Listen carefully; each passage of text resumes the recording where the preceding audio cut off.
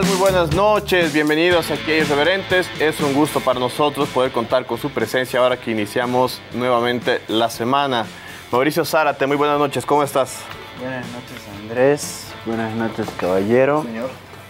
Señoritas, de tanto tiempo que era, qué bueno volver, que, que, vol- volverte a ver, porque en realidad yo fui que no estuvo el viernes y ahora todo el público de Avellar. Kiara San Pablo, muy buenas noches. Buenas noches a todos, a todas. Natalia, eh, bueno, no está de más volver a reiterar la penosa situación en nuestro país hermano Perú, que hay más muertos, más heridos, eh, hay muchas marchas que se dirigen a Lima. eh, y creo que todos tenemos que estar muy pendientes de lo que pase porque lo que está sucediendo es una masacre, ¿no? Y un, un abuso contra el pueblo peruano, muchas violaciones de derechos humanos y creo que está bien decirlo y que todos lo sepamos y lo tengamos muy en cuenta. Buenas noches. De acuerdo, y tal vez y quizás también estamos eh, observando un cambio profundo en el Perú, ¿no? Tendremos que ver qué es lo que sucede. Alen Kisber, muy buenas noches, ¿cómo estás? Caballero, señor, señoritas, buenas noches y por aprovechando el medio, un fuerte saludo y cordial abrazo a los seis diputados del Movimiento al Socialismo que fueron expulsados del mismo partido. La libertad y la democracia ante todo. Muy buenas noches. Y Natalia Linares, muy buenas noches, ¿cómo estás? Buenas noches Andrés, Noria, Lem, Kiara y a todo el público de Bellala, muy buenas noches. Que hayan tenido un buen lunes. El día de hoy, en la mañana, una serie de periodistas de medios estatales y también con una línea editorial más tirada hacia la izquierda realizaron una protesta frente a la Asociación Nacional de Periodistas de Bolivia, reclamando que esta institución que supuestamente debe velar por los derechos y la buena labor periodística está siendo completamente parcial y ha enumerado una serie de acontecimientos. Nosotros aquí en Aviala hemos denunciado que una de nuestras periodistas, Adriana Álvarez, fue agredida el martes 10 de enero, en la que fue la convocatoria a manifestaciones a nivel nacional por el Comité Cívico Pro Santa Cruz. Y ya en aquella ocasión, en un eh, comunicado de la Asociación de Periodistas, daba por certero y real la denuncia de periodistas de otros medios de canal sobre que quienes habrían sido los agresores eran supuestos grupos de choque del MAS, pero relativizaban la versión de nuestra periodista que disponían en entredicho que lo que ella, al señalar grupos pro Camacho la habrían agredido, pues eso lo ponían en duda. Es por ello que además de las constantes agresiones que sufren periodistas de Bolivia TV y otros medios, por ejemplo las protestas de Santa Cruz, que hoy día llevan a cabo esta manifestación, a lo cual la Asamblea Nacional de Periodistas no tardó en responder, pero nuevamente incurriendo, podemos decir, en la en la misma conducta. Eh, afirmando que en efecto hay mucha violación a los derechos de los periodistas, pero enumeró una serie de ataques que habrían sufrido medios nuevamente eh, privados por parte de grupos del movimiento socialismo, de que el periodismo estaría más que nunca eh, en riesgo, pero refiriéndose necesariamente señalando hacia el gobierno. Podemos decir como medio canal independiente de que eso se trata de por lo menos una conducta un tanto parcializada de parte de, esta asociación y valga decir que no es la primera vez que eh, esta organización es señalada como tal. Sufrió varios señalamientos también eh, después del 2019 y en el 2020. Y por ejemplo, el día de hoy también se encontraba gente que reclamaba por el periodista asesinado Sebastián Moro, porque tampoco esta asociación ha demostrado demasiada preocupación por un caso tan brutal pues de, eh, ataque pues a la libertad de prensa. ¿Qué es esta institución? ¿Cuál es la labor que debe tener? ¿Y qué está pasando con el derecho a la prensa? Es uno de los temas que tocaremos la noche de hoy.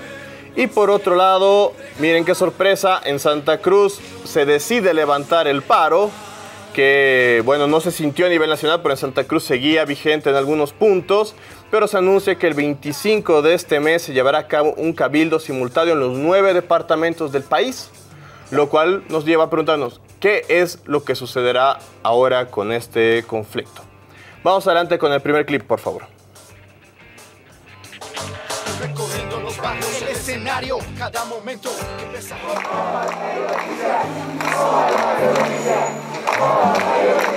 Así este lunes varios periodistas y trabajadores de la prensa mostraron su repudio ante el silencio cómplice de la Asociación Nacional de Periodistas ante las agresiones físicas y verbales a colegas que fueron agredidos por opositores al gobierno y afines a Camacho, ya que solo se pronunciaron ante algunos actos de violencia a colegas y en otros casos los minimizaron o peor aún, no emitieron ningún pronunciamiento alguno. En este mitin varios colegas dieron su testimonio de los casos de violencia que sufrieron en diferentes etapas, como en nuestro medio de comunicación, nuestros compañeros Enrique Tejerina y Adriana Álvarez, quienes dieron a conocer también sus peticiones y mostraron su rechazo a la posición de la Asociación Nacional de Periodistas. Así es, la Asociación de Periodistas ha callado frente a estos enfrentamientos, frente a estas agresiones. Entonces nosotros aquí lo que queremos mostrar, lo que el mensaje que queremos dar es que todos los periodistas, todos los periodistas, eh, sea cual sea su línea, sea cual sea su canal, todos los periodistas tienen que ser reconocidos, avalados eh, por, la, por la Asociación de Periodistas. Eh, ningún periodista debería quedar al margen de de este pronunciamiento de la asociación. Pero la agresión no solo se realiza en esta gestión, sino también desde el 2019. Así nos lo da a conocer José Aramayo, quien sufrió agresiones en el golpe de Estado. A mí me han amarrado a un árbol, eh, fuerzas paraestatales, el año 2019, el 9 de noviembre, ahí también se ha saqueado la radiocomunidad, se ha eh, vulnerado mis derechos fundamentales, se ha vulnerado eh, con mucha violencia, con mucha agresividad, no han tenido consideración al trabajo que yo realizaba y también ahí ha fallecido Sebastián Moro, la primera víctima, eh, un periodista que trabajaba en prensa rural y en radio comunidad y exigimos, como eh, es nuestro derecho, exigimos también que haya un pronunciamiento de la Asociación de Periodistas para que nosotros podamos trabajar también con garantías necesarias. Jeruslava Ojeda también nos cuenta que no solo ella recibió amenazas, también su hijo pequeño, que solo depende de ella ya que es madre soltera y quien formalizó la denuncia, pero aún no avanza el proceso. Yo soy madre soltera y ellos han amenazado también con la integridad de mi hijo. Es algo que no se puede tolerar. Hemos puesto una denuncia penal, sin embargo no ha avanzado. Por ese motivo ahora creo que es muy conveniente realizar esta protesta para pedir que ya también en el departamento de Santa Cruz cese la violencia porque nosotros no podemos estar viviendo de esta manera así cada vez que vamos a una cobertura tenemos el temor de ser agredidos. El trabajo de los periodistas, que solo busca reflejar lo que ocurre en el país, continuará, pero a la vez exigiendo que se respeten nuestros derechos, que no se nos agreda y nos dejen trabajar con libertad, porque también somos humanos y tenemos familias.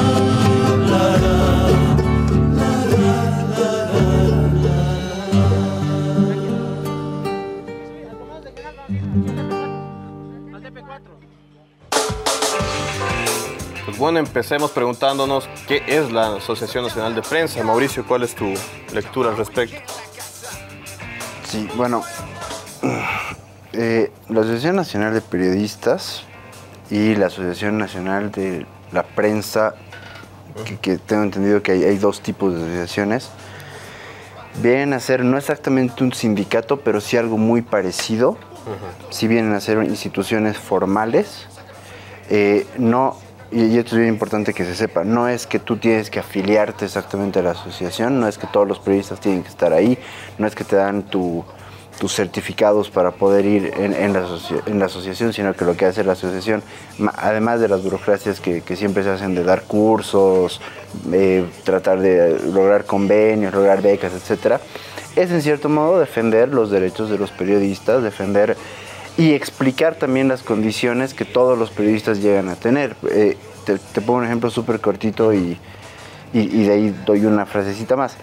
En, algún caso, por ejemplo, eh, llegaron a manifestarse, pero estoy hablando de, de 2018, 2017 más o menos, eh, llegaron a manifestarse la Asociación Nacional de Prensa porque en algunas universidades no estaban contratando a periodistas para carreras de periodismo, pero no como queja, sino bajo una lógica de eh, pueden haber muchas personas que no necesariamente tengan la carrera de comunicación, pero nos gustaría ver el currículum, nos gustaría ver por qué están dando clases, qué sé yo, y se descubrió que muchos de ellos ni siquiera tenían título, eh, un tema de falsedad ideológica, o sea, hasta ese tipo de cosas llega a ver la Asociación Nacional de Prensa. Ahora bien, eh, ya, ya, respecto a lo que viene a ser este, bueno, lo que pasó hoy día, muy honestamente me parece que está bien, me parece que está bien que la gente se queje ante instituciones que deberían de protegerlos, me parece bien que reclamen, me parece bien que digan ustedes no están siendo objetivos, ustedes tienen que proteger a todos los periodistas y no lo están haciendo. Sin embargo, sí es cierto que se han manifestado y sí han dicho tienen, eh, hay que garantizar el derecho de todos los periodistas, así sean medios oficialistas, así, así sean medios partidarios del movimiento del socialismo, de todos modos hay que protegerlos. No, o sea, no es un tema de que no lo hayan mencionado. Como tú dices, posiblemente haya sido demasiado tibio y esa es una crítica que la Asociación Nacional de Prensa, de Periodistas, perdón, tiene que aceptarla, porque sí fue un poco tibia. ¿Tú cómo ves, Natalia? Mauricio nos dice que en efecto está bien este tipo de protestas, pero hubo una manifestación, pero hoy día mi impresión, no sé si pudiste leer el comunicado, es que más bien lo que dice la ANP frente a esta protesta es más bien cuestionando esta manifestación. ¿Tú cómo viste? Eh, el tema de los periodistas y de los profesionales que se dedican a la difusión de noticias y prensa, etcétera, es una situación bastante compleja, creo yo, ¿no? Porque hemos visto, creo que a lo largo de nuestro país, que la prensa siempre ha estado presente dentro de cualquier acontecimiento, ¿no? O sea, no hay nada que decir que la prensa tiene cierto tipo de poder, o sea, algunos teóricos lo manifiestan como si fueran el cuarto poder dentro del Estado, porque esta labor de informar va a ayudar nomás a moldear y a dar una radiografía de lo que es la sociedad, ¿no? Entonces sí me parece que la acción de la Asociación de Periodistas no ha tomado las medidas o no ha hecho las manifestaciones correspondientes hacia lo que viene a ser la agresión a periodistas, sí me parece que es bastante tibia por el hecho de que hay no más que admitir que hay cierto tipo de tendencias, porque la prensa no es parcial, siempre tiene cierto tipo de lineamientos, y los periodistas que tienen lineamientos más tirados a la izquierda o a los medios independientes, incluso medios más pequeños, siempre son agredidos, ¿no? Eh, hoy día se veía un poco la, la foto de Sebastián Moro, no se dijo nada contra este periodista que fue asesinado durante el 2019 por parte de grupos radicales de, de derecha. También me sorprende mucho que durante las manifestaciones del 2019 no se dio mucha explicación sobre eh, la acción que estaban tomando los periodistas, o sea, tenías las masacres de Sencata y Sacaba y no estaban ahí informando. Entonces hay una indignación de la gente que fue creciendo y eso es lo que se le reclamaba a los periodistas de los medios tradicionales, porque los, los medios alternativos y más pequeños estuvieron presentes en estas manifestaciones. Incluso yo recordaba el caso de que hubo un grupo de, porque incluso los periodistas toman acciones políticas en momentos muy importantes, ¿no? En 2019 hubo un grupo de periodistas que secuestraron y entregaron a la policía a un, a un estudiante de que estaba haciendo eh, reportaje y lo entregaron a la policía. Y ante esto la Asociación de Periodistas no se manifestó. Y hay una tendencia, incluso hacia los medios estatales, o sea, se, obligaron a cerrar medios estatales, se cerró Bolivia TV, Patria Nueva, entre otros, que han sido fuertemente agredidos y tampoco se dijo nada al respecto. Hay una ausencia por parte de esta institución que debería ser la que se dedica a proteger y a garantizar cierto tipo de derechos, pero no lo vemos tampoco en sus comunicados. Eh, me parece bastante peligroso, ¿no? Por ahí. ¿Tú, Alen, cuál es tu lectura? Eh, a ver, Dos, a ver, el problema es sobre el concepto de violencia. Más allá de que sea periodista o no periodista, el problema está en que estamos violando el tema de la seguridad individual. Todo lo estamos resolviendo a, golpes y ese, y ese es un problema. Se está excediendo el límite.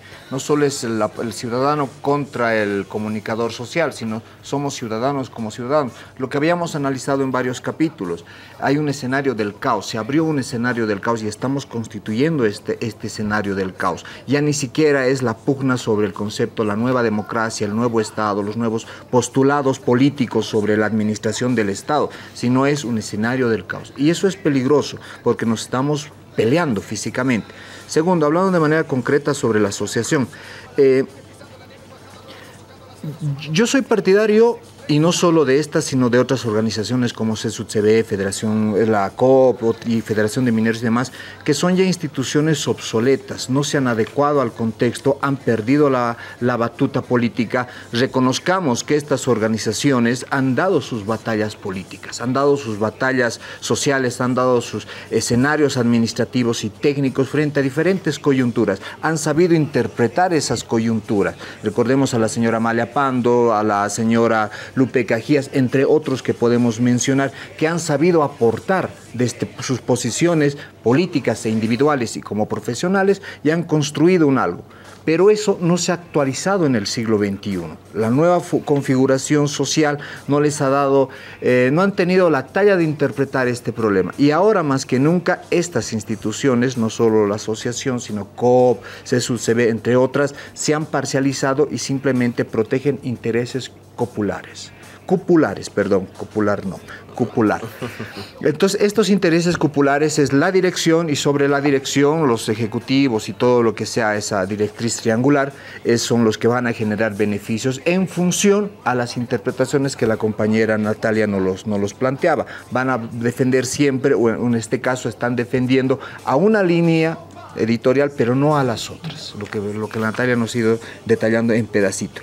Creo que eh, es importante reconocer que estas organizaciones ya no los concentran políticamente, ya no los concentran socialmente. En función a esto, la diversidad de comunicación va en función a intereses bien concretos. Hablemos del 2003, que me parece muy importante con pensamiento eh, etnográfico e, este tema. La radio eh, San Gabriel, Gregoria Paz y Huayna Tambo, de una fundación juvenil, eh, fueron los que encabezaron el proceso de información entre el Alto principalmente y parte de La Paz. Fueron la vanguardia y muchos medios de comunicación masivos simplemente callaban y ocultaban esas verdades, ¿verdad? Rescato más una vez más lo que decía la compañera Natalia.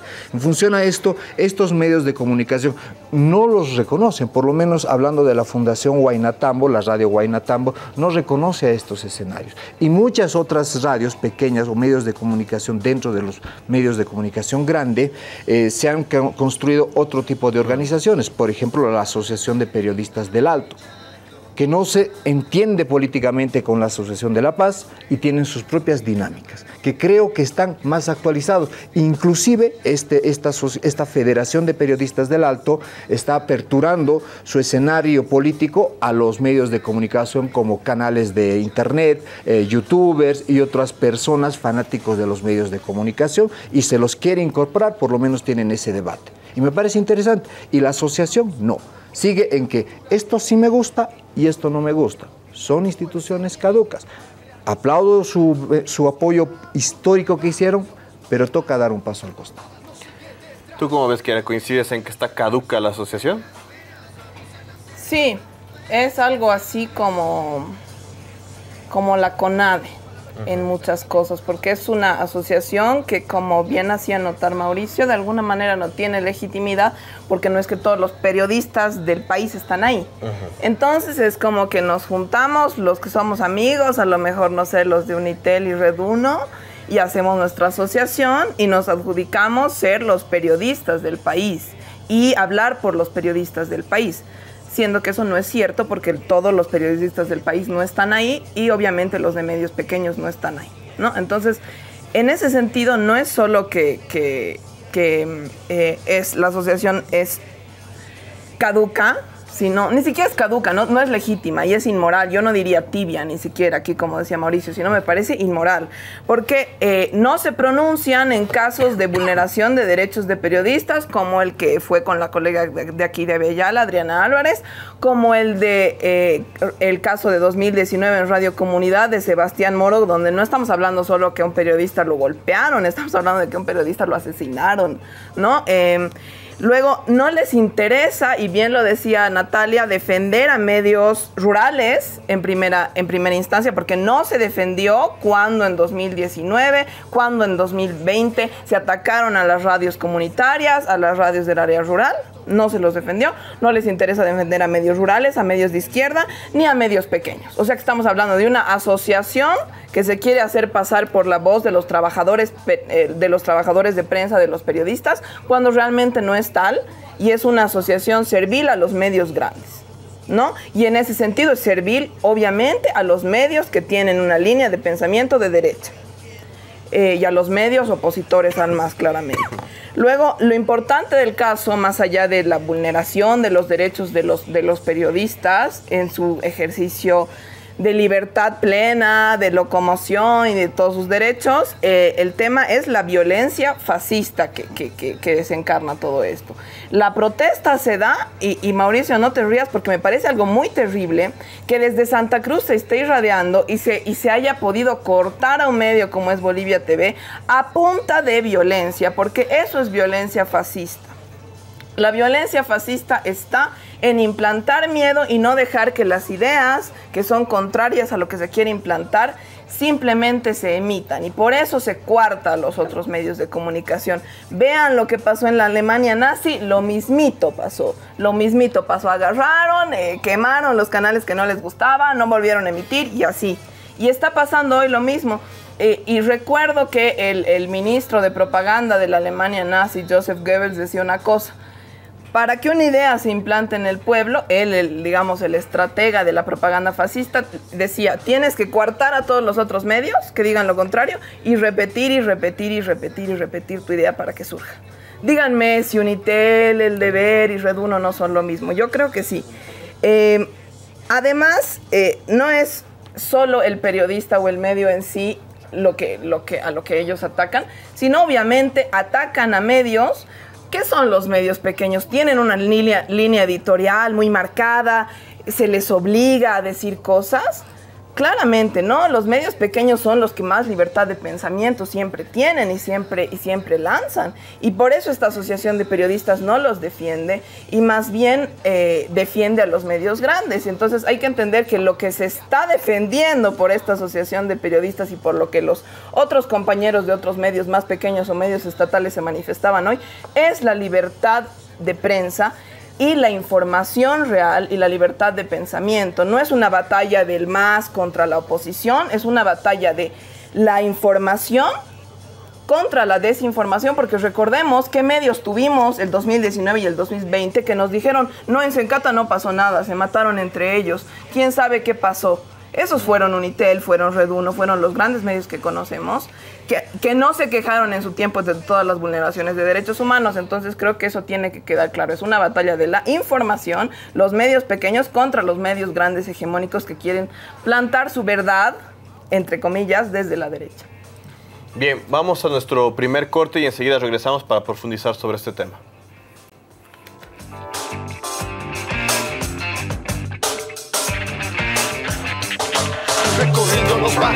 Estás viendo Avia Yala Televisión, un continente de culturas. Continúas viendo Avia Yala Televisión, un continente de culturas. Y regresamos, estamos hablando de la polémica actuación de la ANP, Asociación Nacional de Periodistas, como nos mencionaba Mauricio. Y bueno, que, quería leerles una parte del comunicado que sacó esta agencia para justamente mostrar pues por qué ha sido polémica este comunicado que respondía a la protesta de una serie de periodistas de distintos medios de comunicación. Y en uno de los apartados dice, Bolivia vive en los últimos 16 años, clara señalamiento político, una etapa en la que el poder ha intentado cooptar, amedrentar y controlar a los medios y periodistas independientes se han usado los mecanismos del uso discriminatorio de la publicidad estatal, acoso verbal, amenaza de juicios, presión para despedir a periodistas y otros.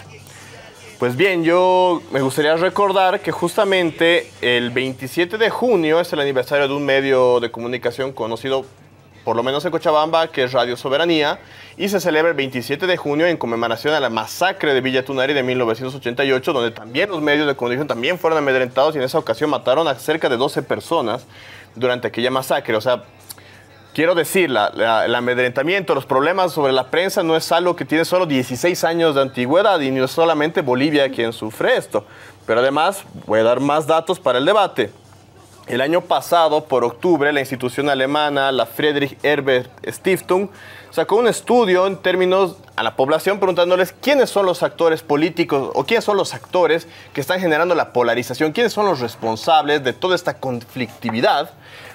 Y en primer lugar estaban los actores políticos con el 80%, Y en segundo lugar le seguían los medios de comunicación. O sea, la población boliviana entiende a los medios de comunicación como un actor no neutro y que fomenta la polarización. Y ahí yo pregunto, ¿no es justamente eso lo que se está cuestionando a la ANP, que justamente fomenta esta polarización y esta parcialización? Ahora empezamos contigo, Natalia.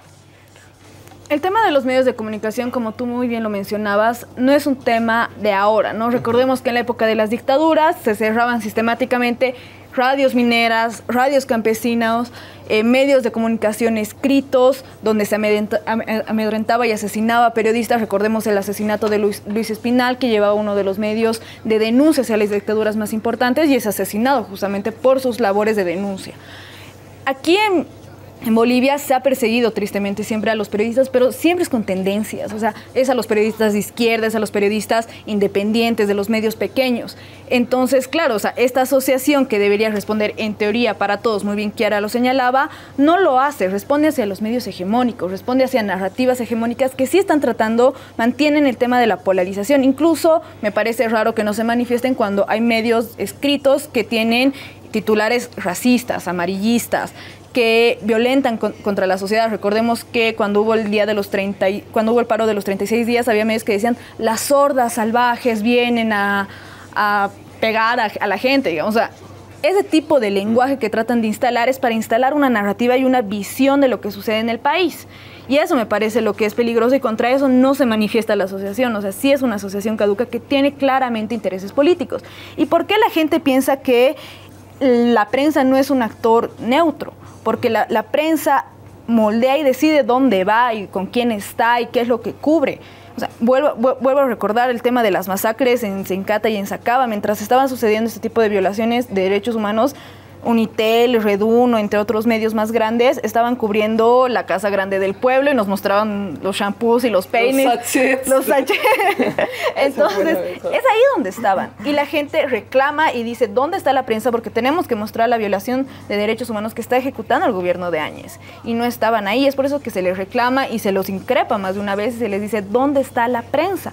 Porque uno, por último, el 2019 y 2020 tenía que informarse por, por la radio, que la radio siempre ha sido un lugar de resistencia y, por medios internacionales. O sea, había que ver RT, había que ver Telesur, había que ver otro tipo de medios internacionales, porque aquí la prensa no estaba cubriendo del todo lo que estaba sucediendo. Y eso es lo. Por eso la gente se enoja y por eso la gente increpa. Entonces, la llamada de atención que se le hace hoy día justamente a los medios hegemónicos es para decirles, "Ya, pues, no mientan, o sea, no, no, no tomen una posición neutral cuando claramente no tienen una posición neutral. Lo que tienen que hacer en realidad es como que blanquear y decir, sí, no nos interesa cubrir esto. O sea, por último, es lo más honesto que se puede hacer. Y después, por último, los medios de comunicación han crecido tanto en los últimos años. O sea, tenemos un montón de agencias, tenemos periódicos, tenemos radios, televisiones que están en internet, que están en, eh, en la prensa escrita, que están en la televisión abierta. Entonces, tienen una responsabilidad para con la gente informar y mantener la situación lo más eh, balanceada posible. Pero claramente no lo van a hacer. En realidad lo honesto sería decir, esta es nuestra línea. Y ahí vean si ustedes ven nuestro medio o no. Eso, e- eso es lo que tendrían que hacer, pero no pasa por ahí. Hay que denunciar, yo creo que sí, cuando hay cierto tipo de parcialización y que, no, y que se deje de amedrentar a medios pequeños y a medios independientes, porque hoy día tú con un teléfono puedes ir a informar y puedes ir y grabar y, y- y denunciar actos, pero que se los oculte o que se los amenace, eso es lo peligroso y eso es lo que hacen los medios hegemónicos, tristemente. Ok, Natalia, vamos, Ale, voy a pedirles un poco de brevedad, por favor, porque tenemos que abordar el siguiente tema. Ale. Un minuto y medio. Eh, mira, Natalia, lo acabas de decir en tu primera intervención, los medios no son independientes, siempre responden a cierto tinte político. Estamos de acuerdo. Ah, uh, Diego igual una vez que le mandaron un mensaje, no eres imparcial, él, él dijo, no, no soy imparcial, Y porque es parte de, ¿no ve?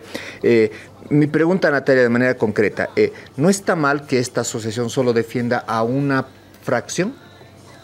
Solo Sí, por a los medios Está- hegemónicos no es- de derecha que tienen plata. no- yo, yo, yo por lo menos me gusta la interpretación alteña y ellos dicen, bueno, yo hago lo mío. ¿Para qué me voy a quejar si nunca me van a hacer caso allá adentro? El problema Me es voy que a esta la- asociación No. habla por todos, ese es el problema. Cuando no, claramente Mira, no va por todos. Yo, yo, yo, yo me parece interesante, pero yo siempre rescato la actitud alteña. Dice, en mis palabras vulgares lo voy a poner, me vale, hago lo mío. Y creo que lo han hecho bien en muchos escenarios. No se preocupan en debatirles y rebatirles y cuestionarles el poder a lo que no se va a lograr. Porque como lo dijo Natalia, es una fracción que va a defender a ciertas fracciones. Y lo alteño dice, chao, hago lo mío. Ellos tienen su propia interpretación, tienen su propio mundo, su propia lógica, su propia articulación y en función a eso creo que generan un mejor desarrollo. Mejor, en otras palabras, el alteño dice, ¿para qué me voy a quejar? Pare de quejar. Hago lo mío y avanzo. Y eso me parece, me parece importante. Me parece interesante, más que importante. Eh, el otro elemento. A ver, eh,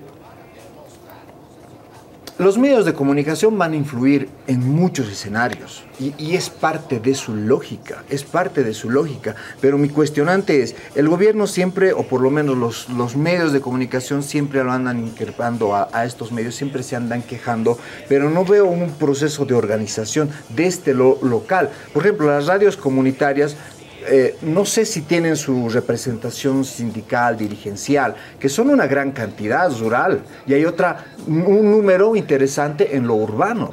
Acá yo por lo menos conozco tres radios comunitarias en la ciudad de La Paz. Entonces, no he visto que estos sujetos se organicen como radios comunitarias y presenten propuestas o pugnen escenarios de poder e influyan en los escenarios del debate político. Concretito con esto, Andrés. Eh, ¿Cómo sobreviven los medios de comunicación masivos? ¿No es con auspicio principalmente del gobierno? Que ya lo habíamos debatido en algún momento. De ahí viene la plata, de ahí viene el salario. Y el gobierno debería, creo yo, auspiciar a sus fuentes directas, que serían las radios comunitarias o las radios independientes. Yo no he visto grandes ingresos eh, en propaganda a las radios comunitarias, ni rurales ni urbanas pero sí a los medios de comunicación, que siempre se queja el movimiento al socialismo. Hipocresía discursiva, me parece. Excelente, tenemos dos mensajes antes de pasarle la palabra a Kiara. Lo vemos en pantalla, por favor. Buenas noches, irreverentes, pero en la actualidad los medios de comunicación neoliberales como Unitel, Uno y otros como los matutinos, El Deber, Miente M7, Diario y otros solo ven cómo está viviendo Camacho, si va a su cuarta esposa, sus hijos y etcétera, y no hablan las obras que ejecuta el gobierno central. Gracias Andrés, gracias a usted que nos escribe. Siguiente mensaje, por favor. Buenas noches, irreverentes. La Asociación de Periodistas apoya claramente a la derecha, cierra los ojos ante ciertas acciones que se supone son del oficialismo y apoya descaradamente la oposición. No son nada imparciales, solo basta con ver y leer los titulares que tienen diariamente. Muchas gracias por sus mensajes. Eh, Kiara, ¿tú cómo ves? Eh, ya, bueno, claro, ahí en el pronunciamiento está claro que tienen una, una, una línea clara, ¿no? Esta asociación de periodistas, uh -huh. hablan del gobierno asesino, siempre eh, del gobierno represor. Creo que asesino no. Sí, uh -huh. pero bueno, el caso es que hablan, tienen, tienen esa lógica de decir no, que el gobierno es el que reprime y, y a mí me gustaría recordar algo que está muy fresco en la memoria de todos, que es que en el año, durante eh, el 2020, cuando teníamos a un gobierno que seguramente para ellos no seguía, obviamente para ellos no seguía la misma línea, que el supuesto gobierno represor de ahora y que no deja surgir, porque este discurso viene de hace mucho tiempo, que el gobierno del MAS no deja surgir la libertad de expresión. Teníamos al ministro Murillo eh, con su chaqueta militar todos los días que parece que no se la sacaba ni para dormir, diciendo que él iba a meter a preso a quien dijera lo que a él no le gustaba. Entonces, creo que tenemos que realmente tener seriedad en esas cosas. Podemos hablar de que no nos guste lo que está haciendo el gobierno, de que no nos parezca, de que tenemos otra línea de pensamiento, pero hablar de que un gobierno no deja surgir la libertad de expresión me parece una cosa de verdad criminal. Y muchos compañeros y muchas organizaciones han pedido desde hace muchos años que se tenga un observatorio de medios justamente por esto. Justamente porque eh, creo que es irresponsable que en el país se viertan opiniones como estas y como mucho tiempo se habló de dictadura eh, cuando, cuando estaba Morales en el gobierno bajo esta misma línea de que lo que no nos gusta es represivo y dictatorial, cuando realmente, tenía, cuando realmente vimos el 2020 lo que sí era algo mucho más parecido a una dictadura, ¿no? Uh -huh. Luego, eh, los medios deberían informar, no desinformar, y lo que decía un comentario de los que nos mandaron ahí es muy, es muy, es muy clave. Una cosa, y, me, y lo decía Natalia, sería más honesto decir, no nos interesa cubrir esto. En el 2020 hubieran dicho, no nos interesa cubrir las masacres. La verdad, no nos interesa ir al, a Sencata, se acaba a ver esto. Pero nos ponen en el segmento de noticias, no sé, a, a- si al bebé de un personaje de la farándula que ellos crearon, como es esta changa que da las, las propagandas de Tigo, que no me acuerdo su nombre, nos lo ponen en el segmento de las noticias o que si Shakira hizo esto o el otro, en vez de informarnos lo que realmente está pasando en nuestro país. Entonces, para mí, esa es la responsabilidad y a lo que tendríamos que apuntar para responsabilidad del periodismo. Luego, ¿qué seriedad tienen estos medios? Si en el 2020 teníamos, 2019, perdón, teníamos movilizaciones, torturas, vulneración de derechos humanos y conflictos, pero lo importante para ellos era ver el sachet de shampoo de Evo Morales. O sea, para mí en eso se resume todo, todo el panorama nacional. Nos cuentan lo que nos quieren contar y encima se adjudican la voz de los periodistas a los que ellos mismos violentan, ¿no? Entonces creo que en ese sentido nos tiene que quedar muy claro. Tenemos un mensaje más antes de pasar la palabra a Mauricio, nos acaba de llegar. Buenas noches a todos. Tengo un concepto de la prensa y lastimosamente no existe profesionalismo, porque el periodismo debe ser imparcial.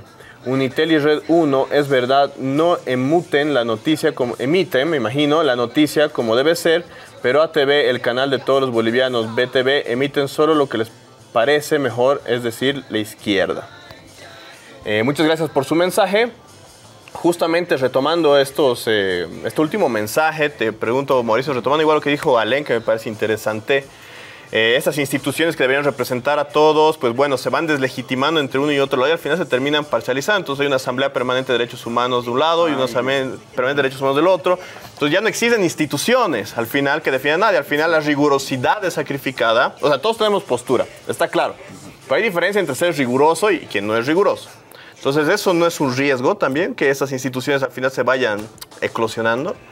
Mira, en el caso de la Asamblea Permanente de Derechos Humanos, es una institución que sí tiene validez, es decir, que sí tiene una validez internacional en un Ujú. sentido de ayudas internacionales, cooperación, otro tipo de, de temas. En el caso de la Asociación de Periodistas, no, es mucho más, es mucho más privado, si me lo permites. Ujú. Es decir, lo, lo que dice Elena me parece excelente. Existe la, Asociación Nacional de, eh, perdón, la- sí, la Asociación Nacional de Periodistas y si hay algún problema con ella, no hay, no hay nada que prohíba que surja otra Asociación Nacional de Periodistas. Eh, Súper corto, por favor, violencia fascista, eh, pérdida parcial del oído del periodista del BOR Rodrigo Fernández por parte de la policía, fascismo, fascismo. El gobierno de Evo Morales ha encarcelado, ha, apresado a Sergio Mendoza y Álvaro Valero el 2016 sin ningún tipo de, excusa. Carlos Quisbert lo han torturado y lo han metido en prisión en el 2021. Eh, bueno, el tema de, de las Londras. Han habido torturas en las Londras. ¿Hay alguna investigación al respecto, señor del Castillo? No. ¿Sabe por qué? Porque usted estaba de acuerdo con que torturen periodistas, porque usted es fascista. Eh, el tema de Ricardo Aguilar, que fue a juicio y que lamentablemente terminó falleciendo hace un año, un año y medio, fue a juicio porque el procurador lo terminó mandando a juicio por informar, por informar. Eso es fascismo. Eh, bueno, y finalmente la Asociación de Chapultepec, el informe de Chapultepec de, libertad de expresión, mencionó que Bolivia está en el número 15 de 22 países. Entonces tampoco es un tema de "Ah, vivimos una panacea, es decir, han- han extorsionado y, y- y despedido a Andrés Gómez, Amalia Pando, Raúl Peñaranda, John Arandia. Pero es una pan- eso no es fascismo, podemos despedir ¿De dónde los gente. despidieron? Bueno, en el caso de Andrés Gómez es muy grave porque hay un audio en el que se revela a Herbol. A Herbo- a Herbol le dicen, no le vamos a dar publicidad si no se va. El tema de Raúl Peñaranda, voy a ser cobarde, no voy a mencionar por qué se terminó yendo de página 7. Y el tema de Amalia Pando igual es su- sumamente grave. Entonces, no es un tema de, no es un tema de, no, nosotros hemos sido buenitos. Han torturado, han encarcelado a periodistas han torturado a periodistas. Entonces, no es un tema de somos buenitos, ellos no. Solo para terminar, eh, fue página 7 el primer medio de comunicación que sacó la lista de todos los asesinados en Sencante y Sacaba. Fue página 7 quien sacó un dossier el 2021, se lo compartiría a... Bueno, se los voy a compartir, donde fueron el primer medio que sacó un dossier completo del tema de la compra de, de respiradores chutos. es decir, que no servían, que fue negociado. Entonces, no es un tema de decir, no, es que ellos protegen. Y por favor, vean la cantidad de publicidad que recibe ATV, la cantidad de publicidad que recibe La Razón, versus la cantidad de, de publicidad que reciben los medios opositores. Y para Pablo Grossman, que es un experto en libertad de expresión, eso es una forma de fascismo, porque tú ¿Cuántos estás... reciben perdón? Te voy a traer el libro de. Control Remoto de, de Rol Peñaranda. Me acuerdo que hemos debatido de esto en alguna ocasión. La pauta publicitaria de medios oficialistas es enorme y es una forma de fascismo para Pablo Grossman, experto en derechos humanos. Bien, estamos en los últimos siete minutos del programa. El tema da para mucho, pero eh, también el tema de Santa Cruz es importante tocarlo. Antes de entrar a la cuestión de la em, suspensión del paro, no obstante, quisiera mencionar que también hoy día se mostraron imágenes por parte del Ministerio de Gobierno de las nuevas instalaciones penitenciarias de Luis Fernando Camacho. No sé si en producción tenemos las imágenes. Todavía, entonces, en lo, que, en lo que se va preparando las imágenes para mostrar que es bastante significativo, es, es llamativo y se presta al análisis, ya las tenemos, a ver, las vemos en pantalla. Eh, se ha enumerado una serie, pues, de, yo le voy a decir claramente, privilegios, que Luis Fernando Camacho tiene hasta un frigorífico, con un montón, pues, de alimentos, ahí tiene una cama doble, yo no sabía que Chonchocoro, pues, era eso, más su fama más bien es lo contrario, creo. Por ahí podemos ver las imágenes. Y bueno, también el ministro de gobierno pues ha enumerado cada una pues de estos beneficios que goza el, el no sabemos si es gobernador o gobernador, tiene su, su baño privado, lo cual sin duda, y aquí yo debo decir, eh, nosotros estamos completamente de acuerdo y, demandamos que se haga justicia y que los criminales tienen que pagar por los crímenes que cometen, pero aún así tienen que gozar de derechos humanos, tienen que gozar de ciertas condiciones, pero esto, esto, en efecto, es una tentatoria a la población carcelaria, que unos tengan pues estas condiciones, mientras que la gran, gran mayoría vive en condiciones de hacinamiento. ¿no? Entonces, esto es un elemento que les voy a pedir que, que comenten, irreverentes, y al mismo tiempo, ¿qué opinan de esta convocatoria al 25 de enero de un cabildo nacional en los nueve departamentos y que se suspende el paro? Vamos contigo, Ale. A ver, eh, en cualquier, bueno, las cuatro que conozco, Chonchocoro, San Pedro, eh, Obrajes y Miraflores, ahí gana el que tiene plata. Tienes billete y te puedes comprar muchas cosas. Inclusive el señor Edgar Patana, exalcalde de la ciudad del Alto del Movimiento al Socialismo, eh, tenía varias propiedades. Una vez estando libre, él seguía cobrando alquiler de las propiedades que había comprado en- dentro de la cárcel de San Pedro. Bienes raíces, interesante lectura del movimiento al socialismo. Segundo elemento, ¿qué pasa con el señor, eh, con el director del régimen penitenciario? ¿Cuál es la lógica de, de esta, de la administración? Ya hace unos meses, el año pasado exactamente, la señora Galindo denunció los privilegios que había dentro de las cárceles, hablando específicamente de San Pedro. ¿Se tocó el tema? ¿Se trabajó el tema? ¿Culpa de quién es? ¿Verdad? Otro elemento sobre el señor Camacho me parece interesante porque satisface dos, dos lógicas discursivas. La primera, hay, una, hay un sector hay un sector que lo defiende al señor Camacho y quiere que se lo trate acorde a las circunstancias políticas. Gobernador, ciertos privilegios. Parece, para el contexto carcelario eso es privilegio, por supuesto. Entonces, están de acuerdo y seguro van a aplaudir. Lo hemos logrado. Y por el otro lado, están generando rencor hacia la población carcelaria de Chonchocoro, puede haber conflictos. Segundo, a los víctimas o a los que están en contra del señor Camacho. Y eso es peligroso, porque lo único que está haciendo el, eh, al pedir estos privilegios para el señor Camacho es fortalecer, fortalecer el discurso del movimiento al socialismo y masificar su organización política. Parece un error, pero bueno, estamos por ahí. Gasalem, Kiara. Ya, para aclarar una cosa que mal entiende Mauricio al hablar de cualquier violencia estatal como fascismo, no, cualquier violencia estatal no es fascismo. Puede ser eh, mala, inmoral, puedes llamarle lo que tú quieras, puedes llamarle populismo, lo que tú quieras. Pero el fascismo es una ideología que es tomada por minorías que empiezan a perder privilegios y pretenden gobernar a punta de la violencia y del miedo. Entonces, a hablar de que el gobierno del MAS es fascista o el MAS es fascista, teniendo una, mino- eh, una mayoría que le ha votado y estando legítimamente instituido, y que no es lo mismo, que no es lo mismo que coartar la libertad de expresión. vos mismo lo dijiste, se les da pauta a medios opositores. A página 7 no se les da A un medios peso. opositores Bueno. como Unitel se les da pauta, entonces no me vas a contar que eso es fascismo, perdón. Luego, el gobierno actualmente con el caso, yendo a Camacho, sí con darle esos privilegios en Chonchocoro se está bajando los pantalones ante el fascismo. Y eso hay que decirlo. Y es una cosa indignante para todo el pueblo boliviano que gracias al señor Camacho ha visto, se ha visto masacrado, se ha visto vulnerados todos sus derechos y que cuando se lo encarcele veamos que hay criminales de primera y criminales de segunda. Porque claramente el señor Camacho es un criminal de primera que tiene que tener... Pucha, yo ni tengo tele ni refrigerador en mi cuarto. Creo que la mayoría de bolivianos y bolivianas tampoco. ¿no? Entonces, me parece terrible, me parece grave, me parece que es algo que no se tiene que hacer, me parece algo inmoral y me parece una, una, una jugada mal hecha del gobierno, porque eh, como no tenemos una derecha y una oposición al más competente, no se habla mucho de este tema, pero en las, en las, en las cárceles de Bolivia hay un gran hacinamiento y es un tema que debería preocuparnos como bolivianos y bolivianas y debería estar en los medios hegemónicos que nunca hablan del tema porque no les interesa, pero el hacinamiento y las malas condiciones en las cárceles es un problema, es un problema.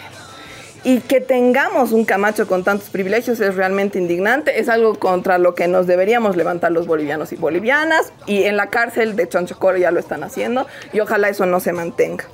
Eso nada más. Gracias, Kiara. Mauricio, tu última participación con la brevedad del momento. Ya. Eh, bueno, Evo Morales dijo, y justamente está en el libro, que él ya controlaba, o que al menos, bueno, que controlaba al menos el 70% de los medios de comunicación. Esos medios de comunicación no dejan que la gente sepa que hay más de 300% de hacinamiento en las cárceles. Tiene razón, Kiara, se debería de informar. Es una barbaridad lo que está pasando en las prisiones. Y no se lo dice. Matemáticamente tenemos una peor justicia. ¿Saben por qué? Porque hace 16 años no teníamos tal hacinamiento. Ahora es peor. Y que ahora nos estemos enterando de que hay presos de primera, ciudadanos, bueno, presos de primera, presos de segunda, es definitivamente que hay que salir y ver medios de verdad como Avia Yala, que, me- que a mí me parece que sí tiene la calidad de decirte A y de decirte B, a diferencia de otros medios. Lo que, lo que vive el señor Camacho, solo para terminar, lo que vive el señor Camacho es literalmente lo que vive la gente poderosa desde hace, desde hace más de 20 años y cada vez peor. Gracias, Mauricio y Natalia. Lo que pasa con Camacho es que es un tema de, uno es un preso mediático, o sea, la, prensa ha hecho tanto ruido sobre este señor que obviamente asusta y se está queriendo responder de manera rápida. Me sumo a lo que dice Kiara, me parece que es un error profundamente terrible que se le esté dando tantos privilegios. Como en algún momento lo habíamos cuestionado, ¿no? O sea, el tema de la cárcel es un tema de clase.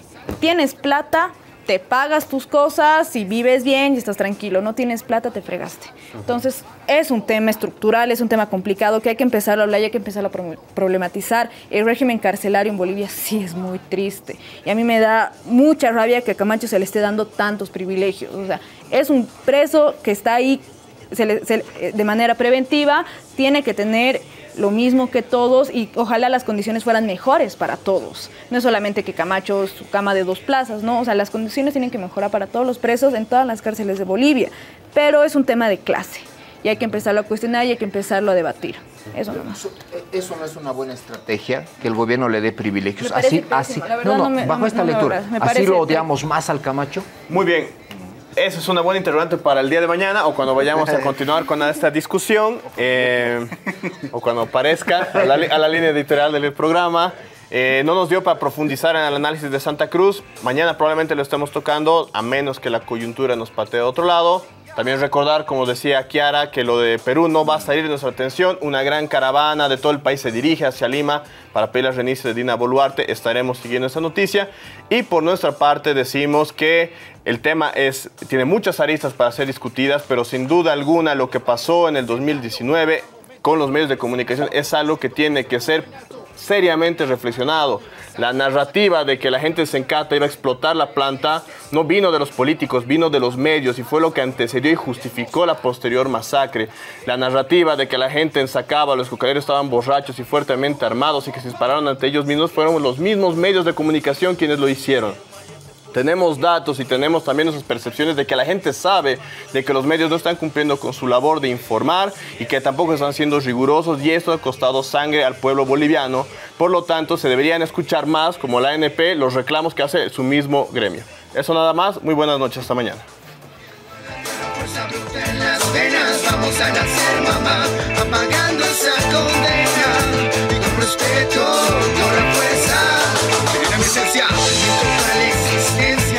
living,